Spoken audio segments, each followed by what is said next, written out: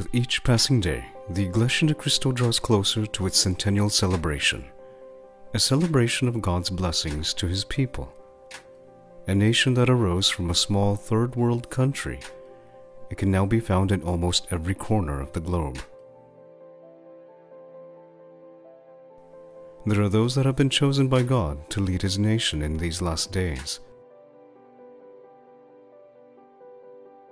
Who are they? And what responsibilities and mission does He give each one? And what is it that ties these leaders together as instruments to accomplish God's will He has orchestrated for His people?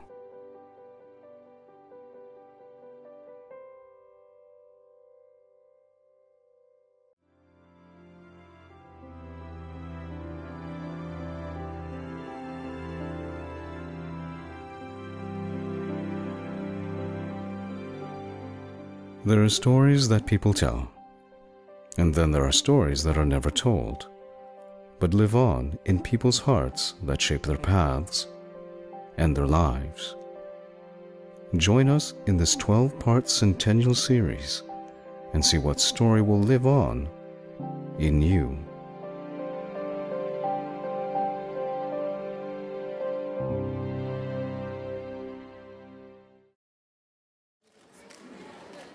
He, you can tell that he sincerely loves every single member of the church and he really wants all of us to be saved and he works so hard to do it This is the first opportunity I've had to had to meet him, and I thought it was great that he came here and showed his support. And it's obvious the uh, number of people that showed up today uh, really do love him. I was really, really excited. Um, he came to our district not too long ago in Orlando, I would say maybe about two years ago. And it was such a wonderful experience, and to be able to see him come to a dedication was just even more, it's really neat.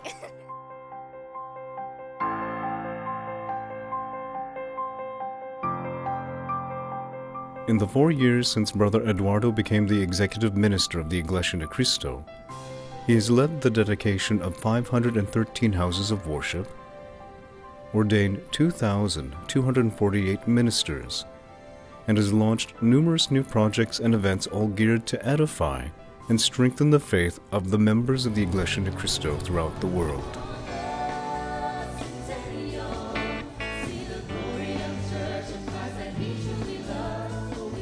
now what, what the world of members of the church are seeing is that the, the, the concern is such that uh, he, he, he's bringing the teachings himself by uh, visiting uh, all over the world.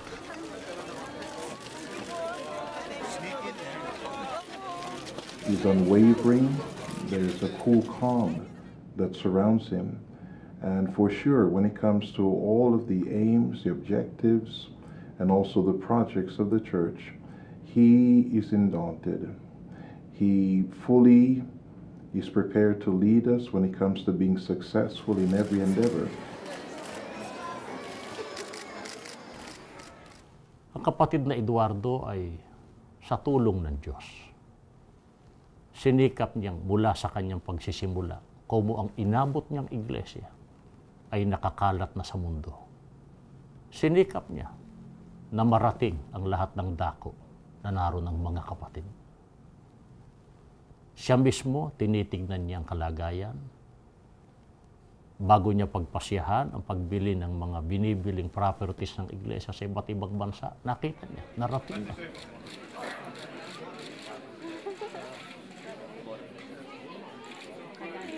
Having a leader that is so tirelessly willing to uh, e- exert every human effort to be sure everyone is reached, to be sure that everyone is touched.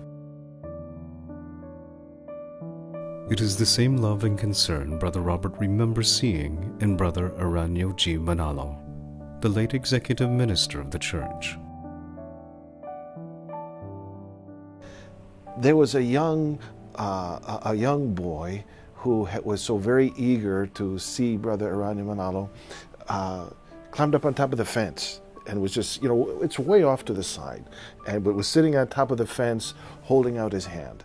And he had absolutely no chance of getting through the crowd or anything, but uh, Brother Ernie noticed him and uh, somehow just it, it, just drew his attention and uh, th- went through all of the crowd and, and insistently w- worked his way over there to the fence and just reached up to that little that little boy and, uh, and, and, and shook his hand.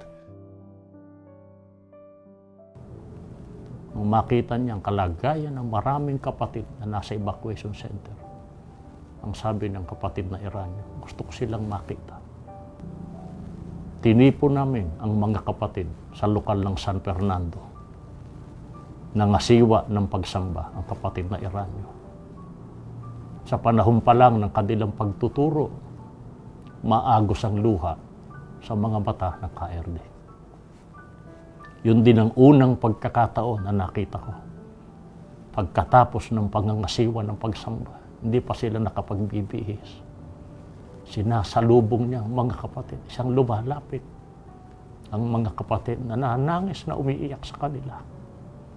Lahat yun, ipinaramdam niya na hindi sila pababayaan ng Diyos.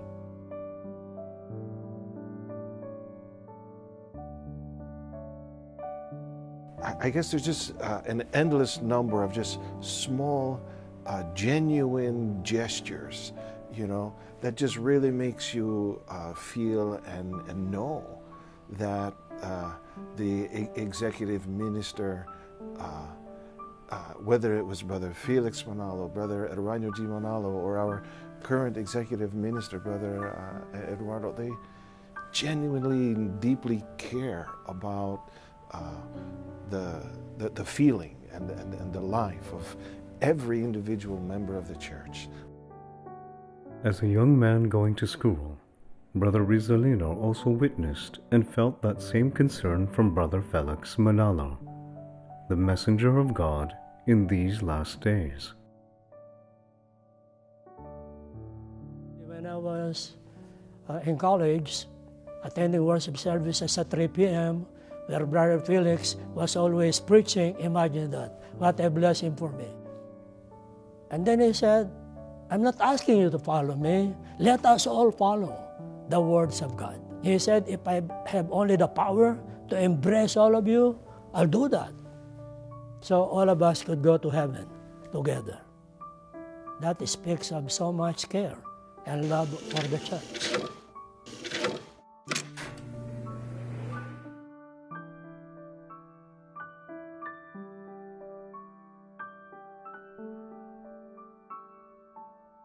Brother Rizalino began his ministry in 1958 and has witnessed the leadership of Brother Felix Manalo, Brother Aranyo, and now with Brother Eduardo.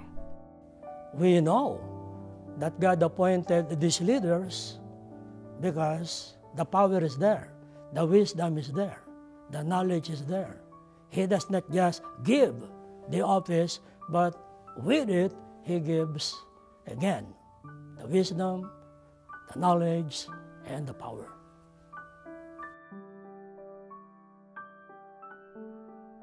Appointing leaders for his people has always been a policy of our Almighty God, even during biblical times.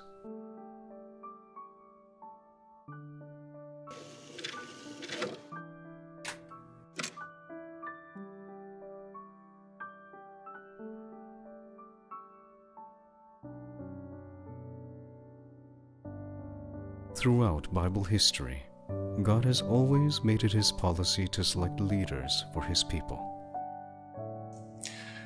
The Lord our God utilizes prophecy. And when one is a fulfillment of prophecy, that is the proof positive that they have been chosen or sent by God. This was true when it came to John the Baptist. There were prophecies referring to him, especially in Isaiah 40, verse 3.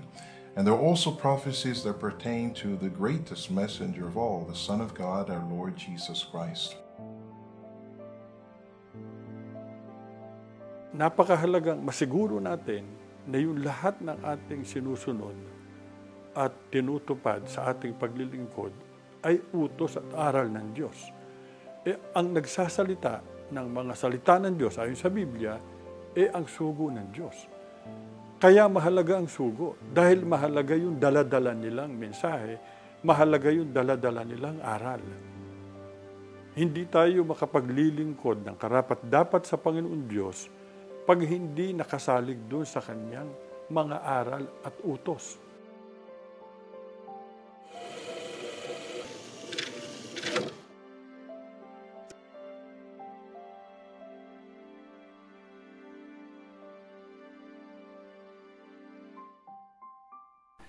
So whether it was in early times or whether it's now, God is still the one who chooses, um, because He's the one God placed there.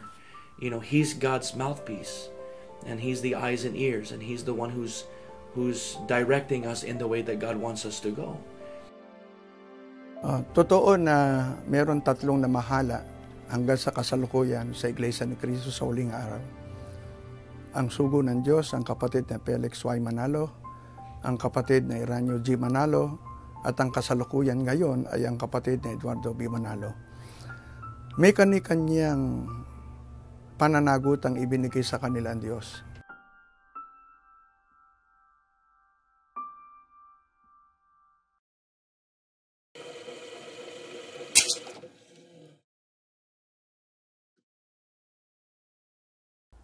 all the sons were presented to Samuel. And the dad thought that one of his sons, who was a veteran soldier in the Israeli army then, looks like a king, has the appearance of a king, you know, he presented him. But the prophet, no, not this one. The next, no, not this one. Not this one not this one. And then when David was presented, who was just a, a very young man, just taking care of a sheep, then the prophet said, This one is the Lord's choice. And then he said, People look at the outward appearance, but God looks at the heart.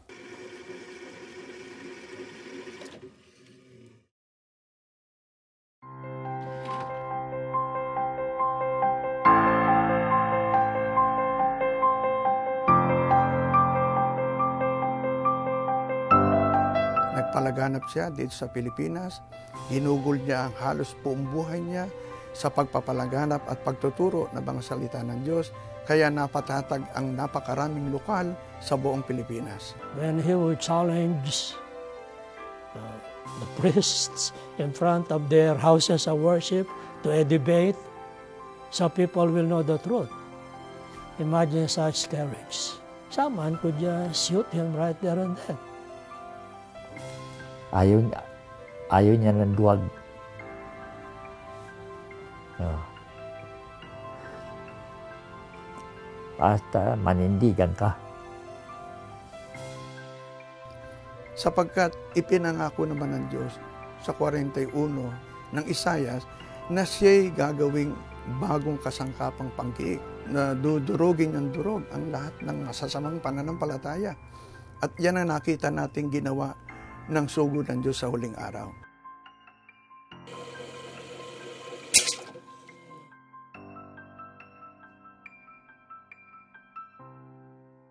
It would be that same courage, that same faith that would guide Brother Felix as he administered the Iglesia de Cristo during the Japanese occupation of the Philippines. What the Japanese wanted was just create a federation of churches of Christ. They felt if it's united, it's easier to control. Professor Ricardo Jose is among the leading experts on Philippine history during the Japanese occupation, having written over 20 publications on the subject. I think in the case of the Iglesia Ni Cristo, the Iglesia Ni Cristo, uh, I think they, they, they, they did not attend the meetings held by the Japanese to create this federation. And while they asked the leaders of the different churches to sign this uh, agreement that we will all work together, uh, the Iglesia Ni Cristo did not do that. When the Japanese would like him to be the leader of all the religions, but hindi niya tinanggap. Mandalin daw siya sa Port Santiago, yung samurai suit, nakaganon lang. Eh. Nahahapdian na siya. Gusto mo bang mamatay? Sabi niya, sino may gusto mamatay? Pero kung gusto niyo patay, ano magagawa ko? So because of that, uh, the people of the Iglesia were persecuted by the Japanese. Soldiers were sent when he was preaching in Tayuman, trying to get him down, but he kept on teaching, and the Japanese soldiers sat down there and listened. Such courage. Despite the imminent dangers of war, Brother Felix continued to lead the ministers and evangelical workers to do whatever was necessary to ensure the spiritual well being of the members. You know, when we were in the evacuation, if I could tell you, was from from town to town, they passed by in, in the field to give us the lesson.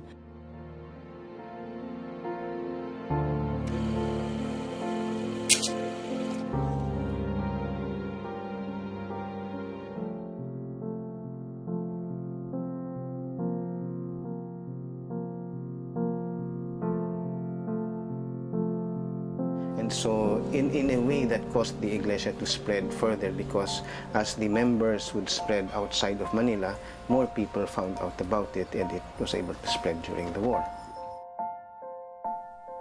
The Iglesia Ni Cristo would extend beyond the island of Luzon by the end of the Japanese occupation.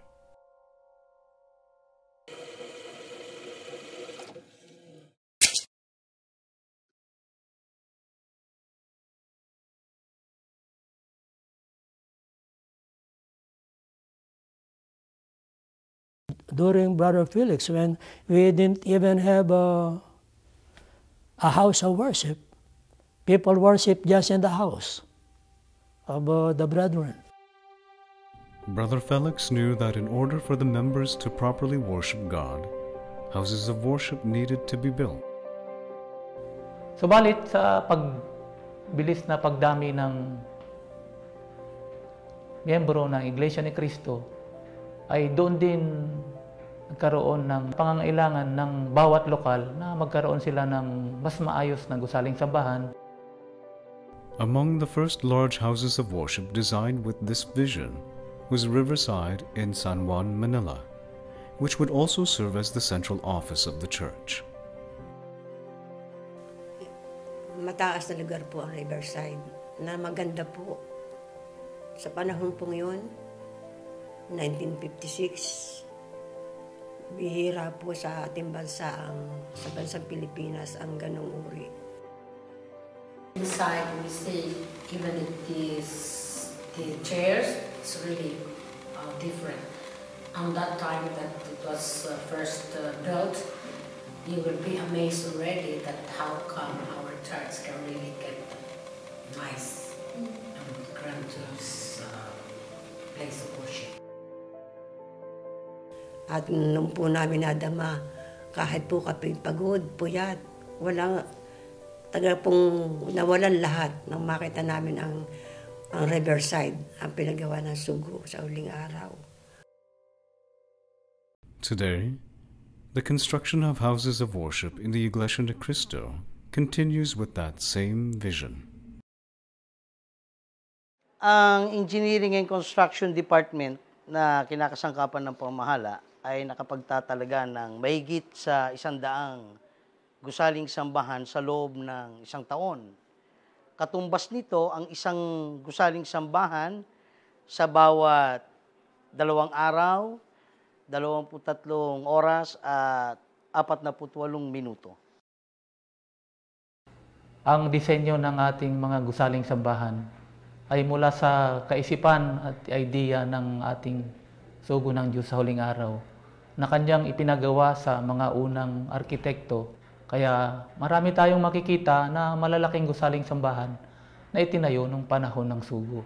Uh, sinisikap po ng aming tanggapan ng Construction Department ng Iglesia ni Cristo na mapataas pang lalo ang uri, hindi lamang ng kalidad, kundi ang paggawa ng mga gusaling sambahan, may angkop sa lalo pang pagsulong ng Iglesia ni Kristo.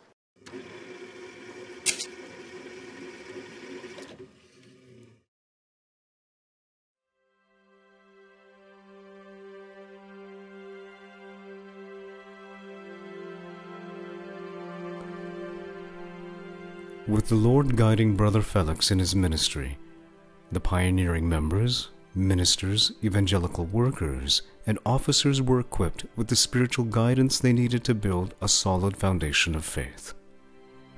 Lessons they have also passed on to their own children and grandchildren.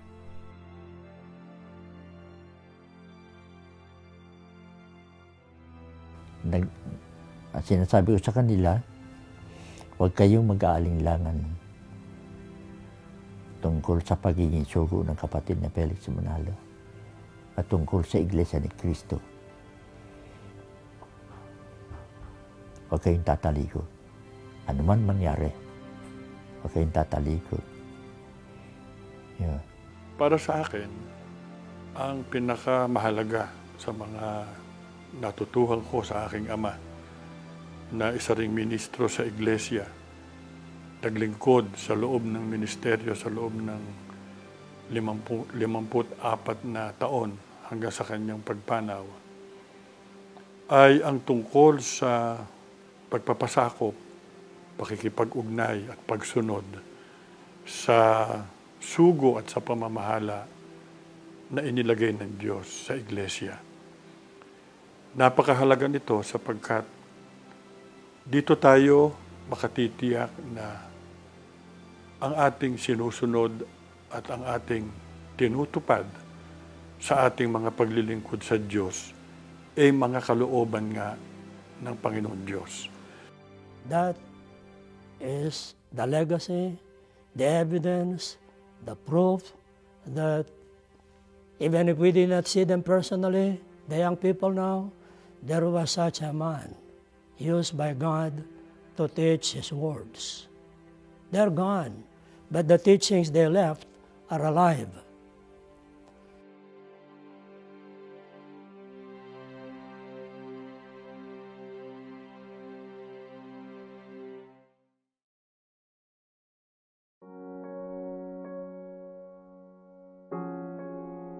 In April 1963, members from all over the Philippines gathered at the local congregation of San Francisco del Monte for the funeral of Brother Felix Manalo, the messenger of God in these last days. While saddened by the news, the members of the Iglesia de Cristo knew that the work he started would continue.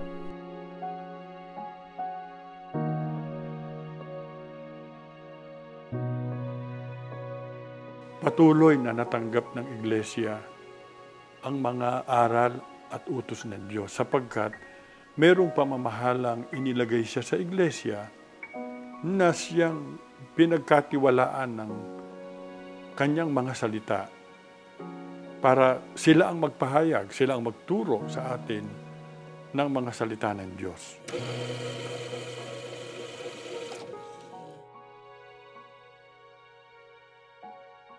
Ten years prior to his death, Brother Felix called a meeting of all district ministers. Sa- Sabi ni kapatid na Felix Manalo, kung ako'y mamatay, sino ipapalit niyo sa akin? Wala kaming kibo. In 1953, nung mahalal si kapatid na RD, That vote was not to divide the church, but for God to tell them who His choice is. Brother Eranio Germano Nalo was elected by the district ministers. edi halal na siya. Bigyan natin ng dalawang katulong. Nahalal si Cipriano Sandoval, tsaka si Ramos, Teofilo Ramos. To prove that it is God's choice, the appointment is given, but with it goes the wisdom and the, the power.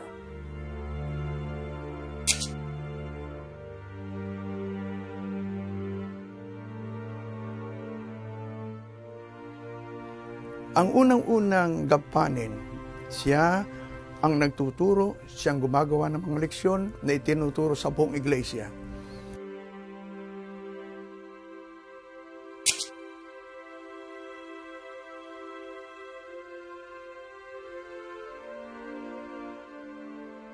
Ikalawa, doon sa Isaiah 43:6 na ang iglesyang ito sa pangunguna ng sugo ng Diyos ay na maitatag na sa malayong silangan ang iglesyang iti makararating sa kanluran. Iyon ang assignment ng kapatid na Iranyo Manalo.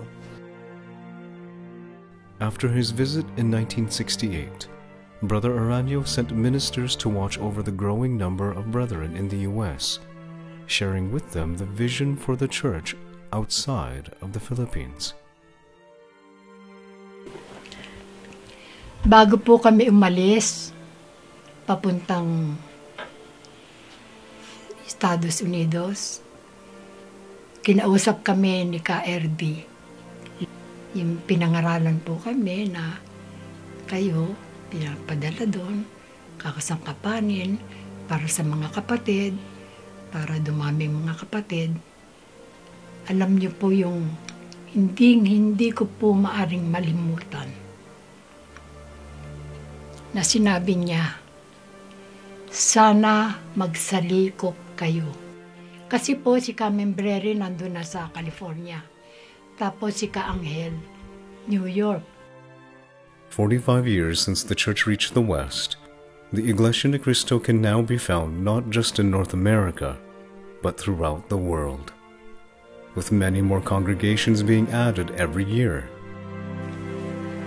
Yun na po ang nakikita kong natupad sa kanyang sinabing sana magsalikop kayo. Hindi lamang po sa dito sa bansang to nagsalikop, kundi sa buong mundo.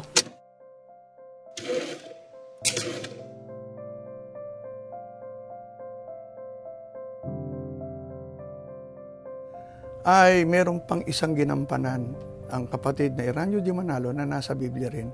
Pagka ang iglesia ay naitatag na, nasimulan na ng sugo sa malayong silangan, at kapag ka iti nakarating na dun sa kanluran, ang kasunod noon ay makababalik ito sa dating tahanan.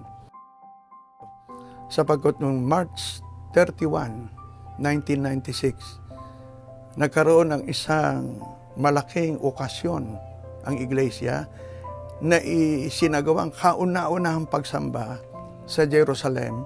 Noong petsang yon natupad ang sinabi ng Diyos na makamabalik ang iglesia ni Kristo sa kanyang dating tahanan. He was able to be the instrument of the Lord our God in many accomplishments for the church. And all of this was because Brother Iranyo G. Manalo fully believed and was convinced of the work that God had placed before him.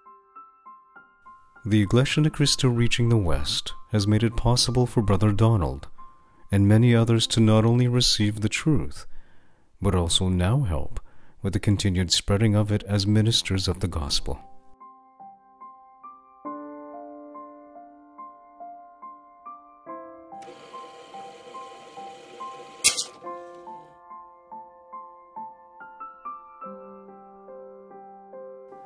Kasi centralized tayo eh. Hindi naman tayo katulad ng ibang organisasyon na wahiwalay ang administrasyon dito, centralized tayo, kaya napakahalaga nito tanggapang pangkalahatan. Kaya yung lahat ng mga pagsubaybay, pangangalaga, pagtuturo, yun ay ginagampanan ng ating tagapamahalang pangkalahatan mula dito sa ating central office.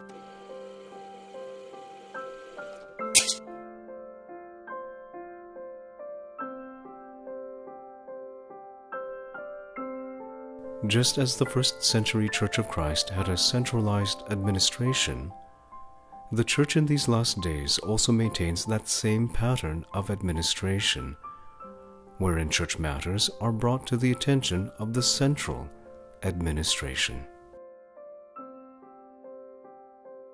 After the construction of the central office, additional plots of land were added to the central office complex. Guided by God, Brother Aranyo's vision continues to allow the central compound to expand and grow to meet the needs of the administration. Ngayon ay patuloy ang expansion at pagdaragdag ng mga karagdagan pang mga gusali sa loob at labas nitong ating Central Office Complex dito sa Quezon City.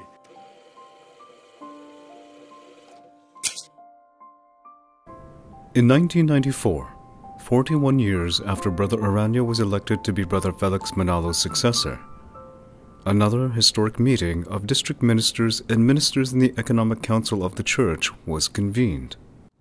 na isagawa ang halalan at pagpili ng magiging pangunahing katulong ng kapatid na Iranyo Manalo at ang napagkaisahan ng buong kapulungan ng mga tagapangasiwa ng iba't ibang distrito kasama pang ibang mga kinakatulong sa tanggapan ng kapatid na Iranyo Manalo. Nagkaisa kaming lahat na ang kapatid na Eduardo Manalo ang siyang mapagtibay na magiging pangunahing katulong at kung sakasakalit itutulot ng Diyos, sila rin ang hahalin sa pamamahala sa Iglesia. Na yun ay naganap noong May 1994. Masasabi ko na yun ay udyok ng Espiritu Santo.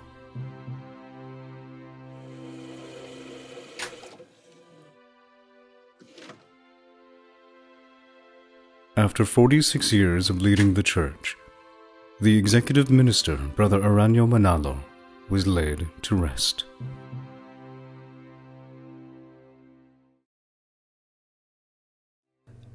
Namahinga ang ating mahal na kapatid, August 31, 2009. Nagampanan ang lahat ng kanyang ipinagagawa sa kanya ng Diyos. Buong giting, buong tagumpay na kanyang nagawa.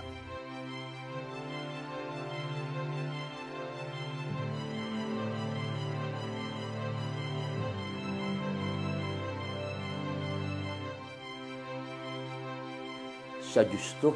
Hindi naman sa tao kasi. Kaya nga sabi ng Diyos, siya gagawa, di ba? Sino pipigil?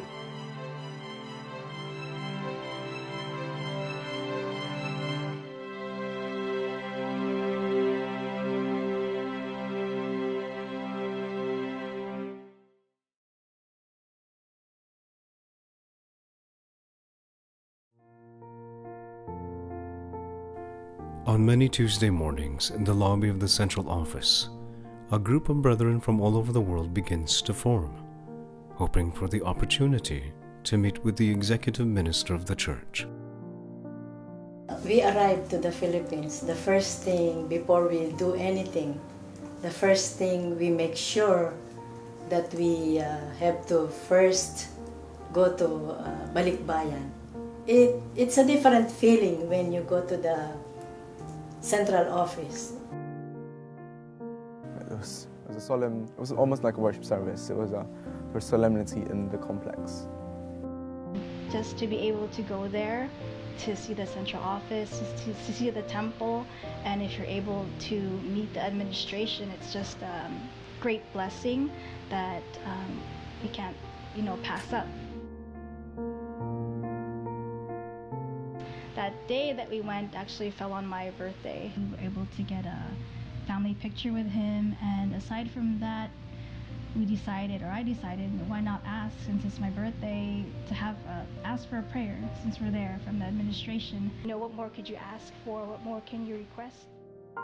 Balikbayan Day is a special time reserved for members of the Iglesia de Cristo from outside the Philippines to have audience with the church administration. And now, through Brother Eduardo's pastoral visits, the opportunity to have audience with the executive minister extends far beyond those Tuesday mornings.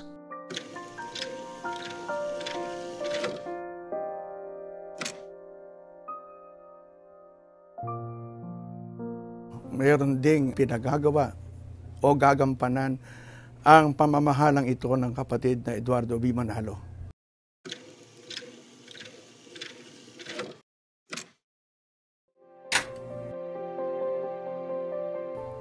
Alam natin na iglesia sa panahon ng kapatid na Eduardo B. Manalo ay napakalawak na. Napakarami na ng kaanib. Kamangha-mangha na 25 bansa ang narihiso tayo inaasikaso yan ng ating tagapamahala. Yun ang tungkulin niya.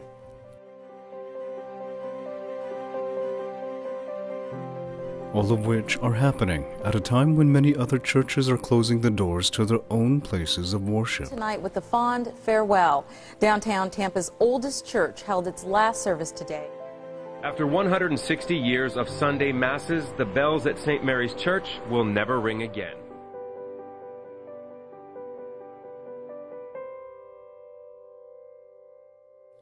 Kaya awa ng Diyos sa loob lang ng pamamahala ng apat na taong pamamahala ng kapatid Eduardo Manalo ay isandaan at dalawampu na nabibiling property sa iba't ibang panig ng mundo at ang karamihan dito ay mga simbahan na Iglesia Katolika at mga kapilya ng iba't ibang sekta ng protestante. Among them was the former Greek Orthodox Church, which was purchased by the Iglesia de Cristo in 2012. Oh, it's so inspirational. I, I today I was just thinking back when we first started out in the hotels, Days in, and it occurred to me that we didn't have any activities.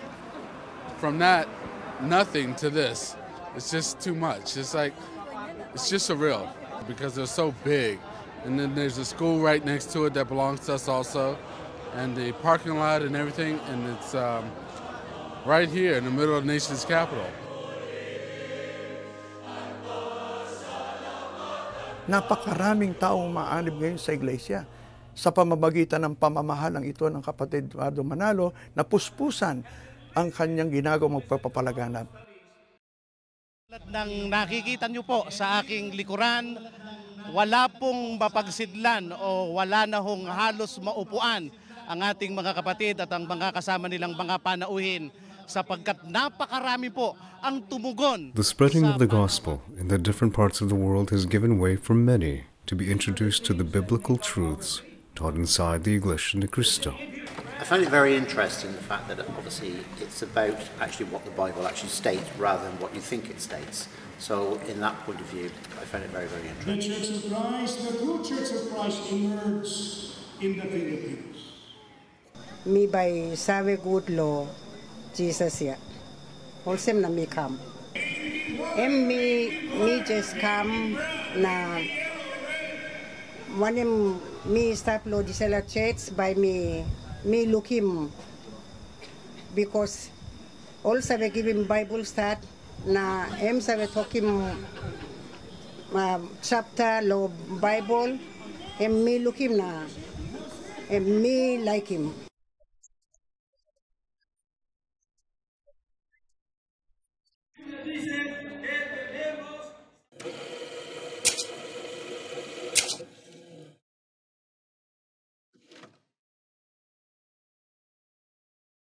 Walang tigil sa paggawa. Walang tigil sa pagpaplano. Walang tigil sa pag-iisip. Hindi siya tumitigil kahit nakita natin ang mga pagbibiyahe niya. Pero hindi niya inaalintanan yan.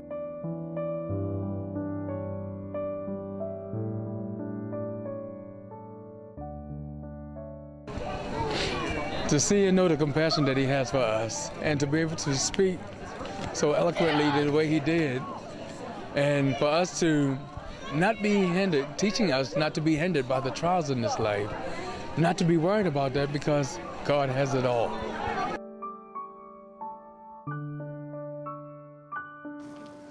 especially with everything that's happening, it is very important to just know that no matter how far the church administration is from us, they always think about us and they always care about us and they would always do whatever they can to strengthen our faith. So I think it's very inspirational because everyone needs that inspiration.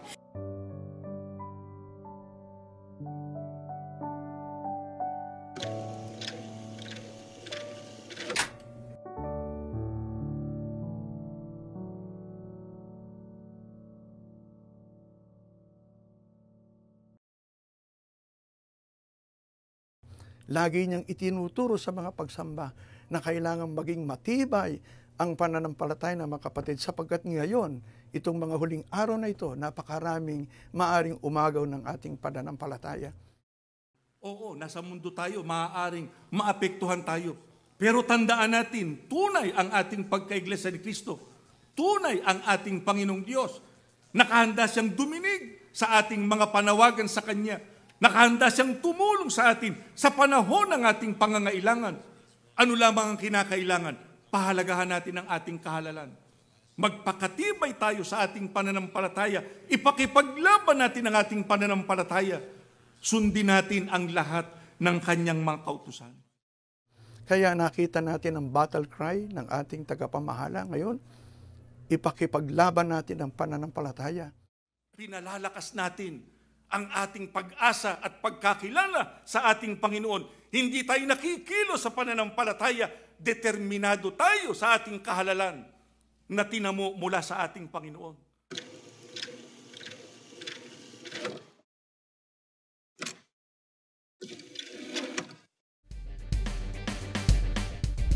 Hello, I'm Brother Edwin Zabala, and this is the Iglesia Ni Cristo International Edition.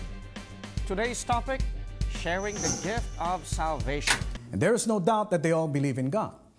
But who is the God believed in by these Bible professing people?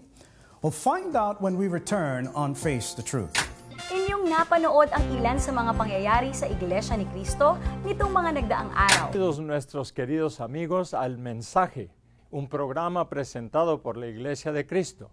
Soy el hermano Juan Fisher. Nakikinig kayo sa Iglesia ni Cristo Radio, DTEM 954. Yun ang malaking gampanin ng ating tagapamahalang pangkalahatan ngayon.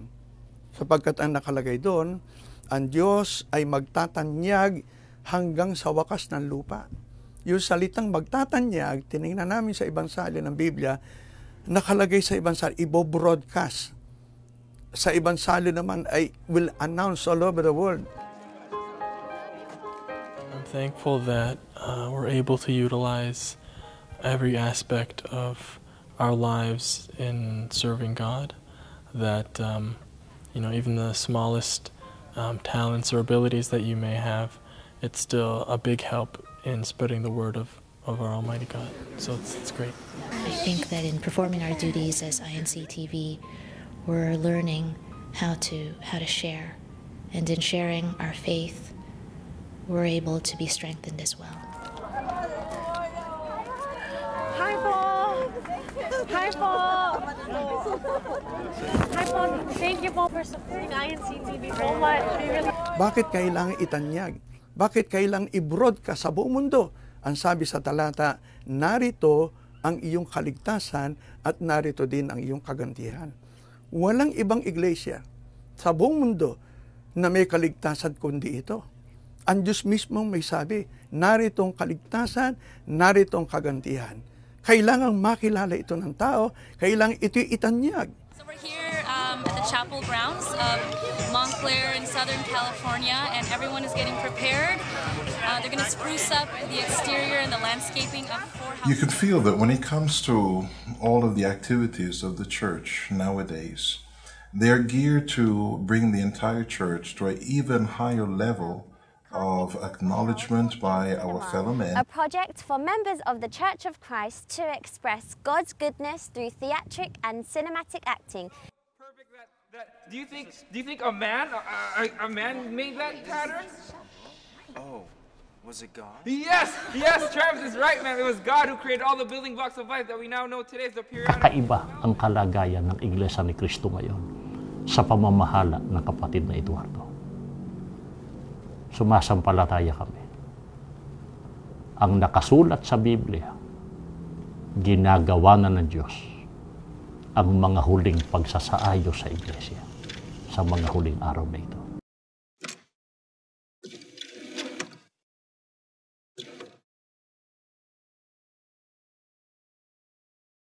na pinamagatang kababayan ko, kapatid ko. Ito po ay sa pakikipagtulungan ng FYM Foundation na isa sa nilalayon ay lingapin ang ating mga kababayan. Lahat sana ng mga proyekto, mga gawaing inilulunsad ng kapatid na Eduardo Bimanalo, yakapin natin. Sapagkat sa pagkakaisa natin, naluluwalhati natin ating Panginoon Diyos, na pagbigyan natin ng kahilingan ng ating tagapamahala, at higit sa lahat ay, yun ang ikapagtatamo natin ng kaligtasan at ng buhay na walang hanggan.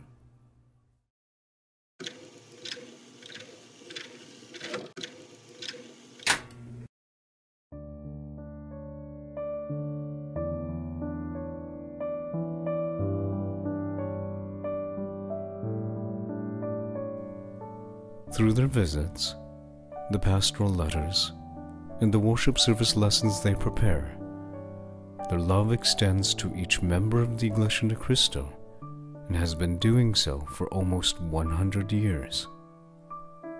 And throughout the years, their lives, their leadership, and their love continues to teach us lessons, not about them, but of the one who has placed them.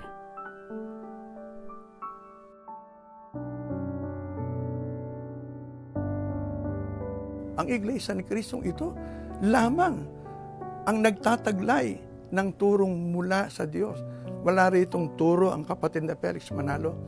Wala ritong turo ang kapatid ni Eranio Manalo at maging ang kapatid ni Eduardo. Ang turo na tinatanggap ng buong iglesia at yun ang ating ipinalalaganap, salita ng Diyos.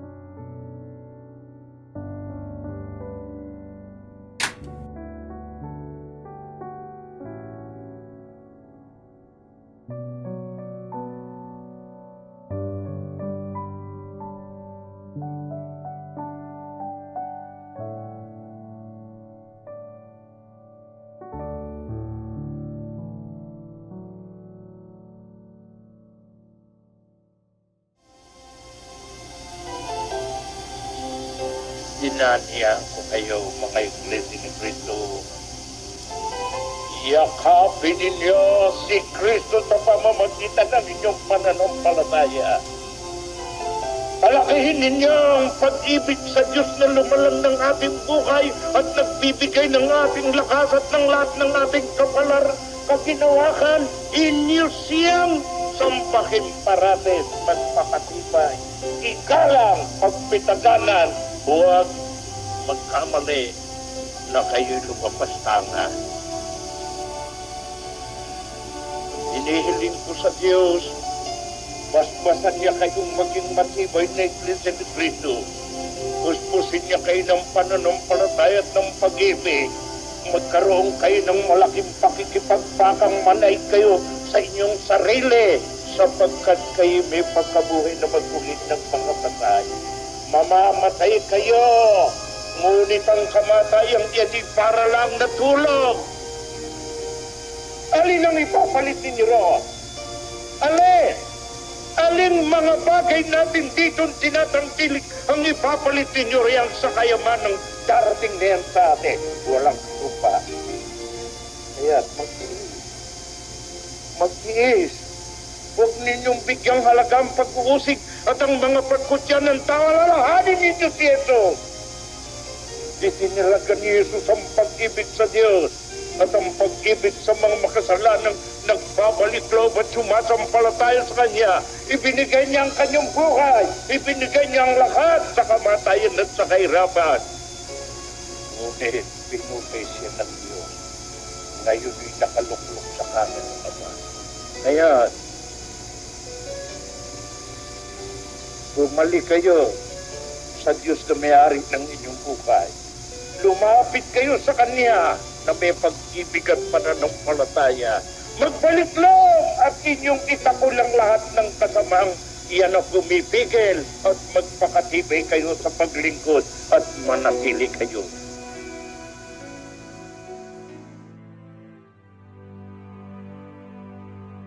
Darating na si Kristo.